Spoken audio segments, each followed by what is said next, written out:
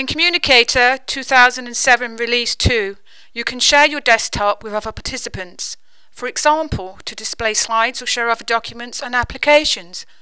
You can also share control so that other participants can provide mouse or keyboard input on your desktop. Now let's share the desktop. Click on Sharing to share desktop. In the participants conversation window, the message click here to accept the invitation to sharing session appears together with an alert. The participant accepts the sharing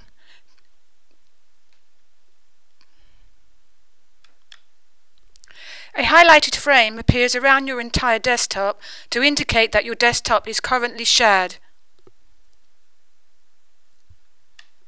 Now let's give control of your desktop to the participant.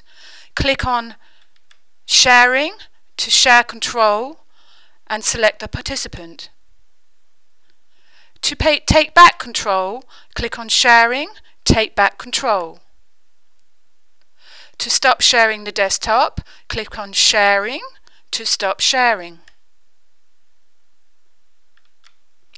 To invite somebody to this meeting during the conversation, click on Invite to invite contact.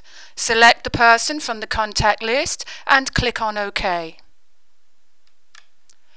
To add video to the conversation, click on Start Video Call. The participant clicks to accept the video call. To add audio to the conversation, click on the Call button to add audio.